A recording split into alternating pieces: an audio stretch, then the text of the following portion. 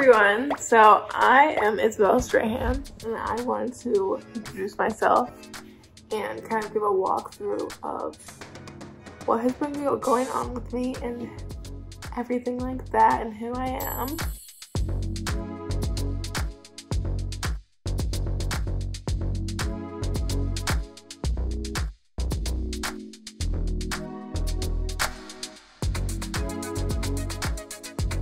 And so it's difficult because this is Tuesday when I'm filming this, but I just had a Sephora ad come out that I shot in May 2023. So it's like super exciting, but I remember being so excited to go to the store and take a photo, like a selfie with it. And I can't do that right now because no one knows what I'm going through.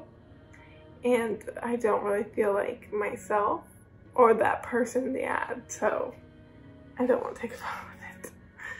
But a background of what's been going on these past two months. Um, it's been rough, it's been challenging, it's been very hard, but I know I'll get through it and I know time will heal and things will get back to being, I can't really say normal because there's not really, really a normal now in my life, but things will get back to being calmer.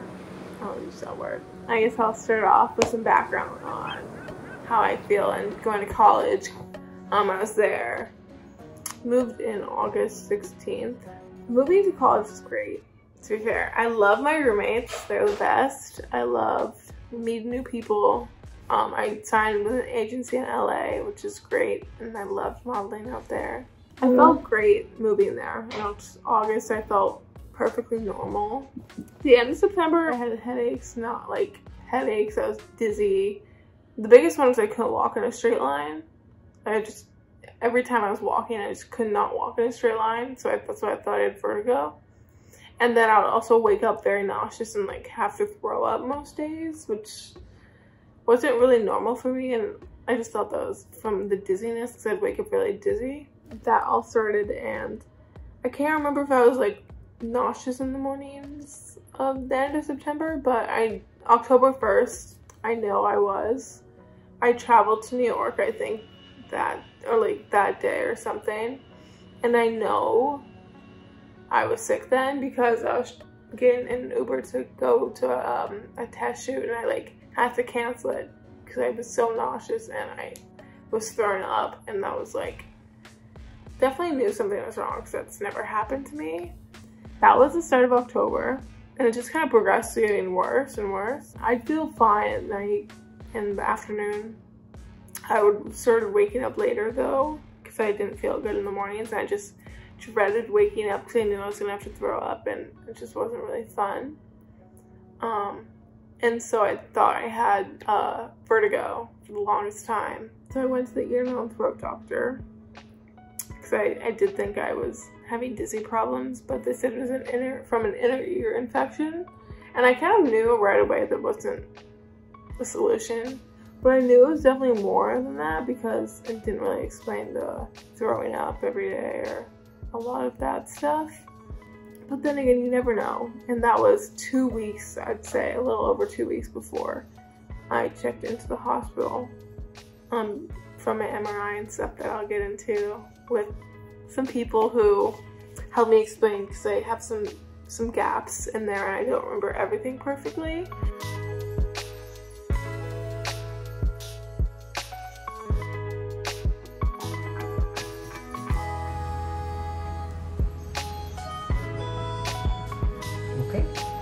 Isabella's moving into a new room for her birthday. Here's her sister, Sophia. Happy birthday to you. Happy birthday, dear Sophia. Happy birthday to you.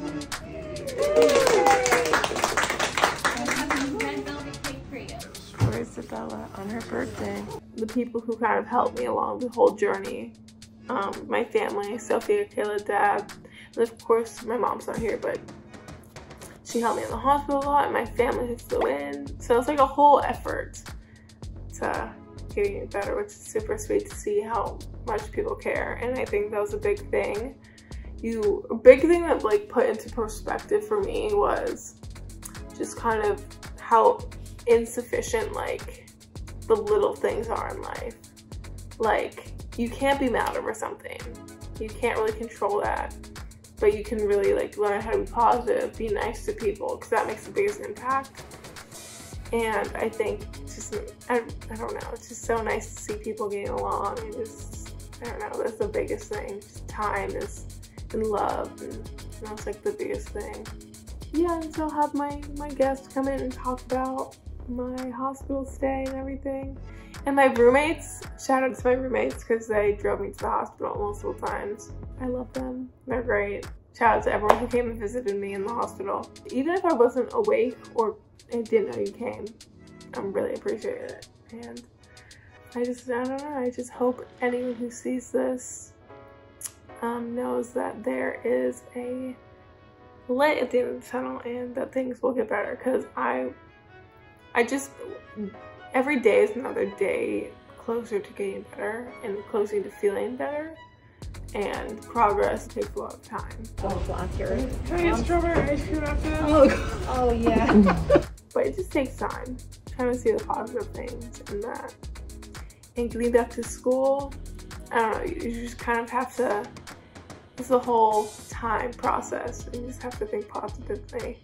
So I anyone going through the same thing, think positive and things will get better. And I'll end with that. And yeah, I'll add this. Oh, that's my glass. It's holding my phone Okay, I'll wait. Bye.